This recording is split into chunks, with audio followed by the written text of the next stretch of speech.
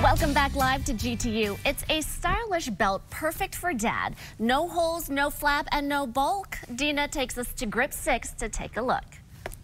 At Grip 6 Belt Company today with owner VJ. Now, you started this company about five years ago. I've never seen a belt like this. Talk me through. What was the need? What were you seeing? So I ended up coming up with this belt because there were three things about belts that always bothered me. Um, the fact that you have a flap hanging out. Most belts have, you know, they come from the back and they go to the front and they've got this thing and it kind of just sits there.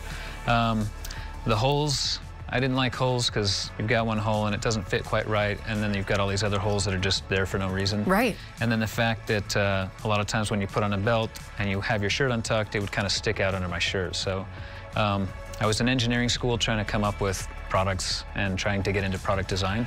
And uh, I thought belts are a pretty good thing to give a try. Um, if I can get rid of the bulk, the flap, and the holes, maybe I, maybe I might have something.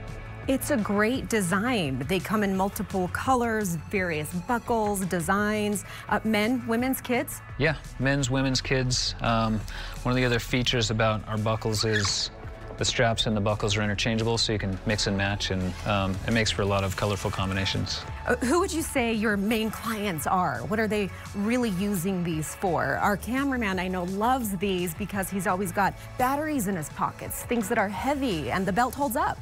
Yeah, so the belt, the belt never slips. It holds super tight. Um, as far as our customers, it's man, it's humongous. It's it's old people, it's young people, it's kind of all over the place. A lot of women love the fact that it's it's really low profile. Oh, I love it. Now you have some new things coming. You're expanding beyond just belts. Talk to me about the socks. So the socks we are making ourselves. We actually purchased the machines and figured out the software, the supply chain, kind of the whole process.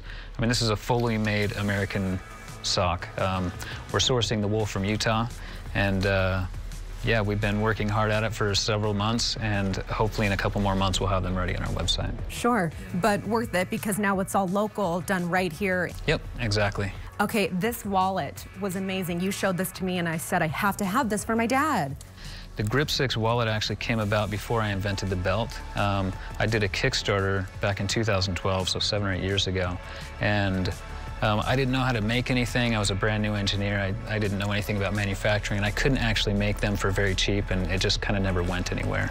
Um, so we actually resurrected this last year with a new Kickstarter. Um, we sold uh, about 8,000 of these, and this is actually where the name Grip 6 comes from. When you squeeze this, um, this wallet, six cards pop up. So the grip and the six, and they lock in tight, and it's RFID blocking, and it's made right here in our factory. It's awesome. So keep an eye out because these will be available in a couple of months. But for now, Father's Day is around the corner. You can come and get your dad a belt. Come shop, come tour the factory. Where can people find you? Um, we are in Midvale. Um, 6952 South High Tech Drive. Perfect. And what's the website? Uh, grip6.com. BJ, thanks so much for having me yeah, today. Thanks for coming. Those are such nifty ideas. I feel like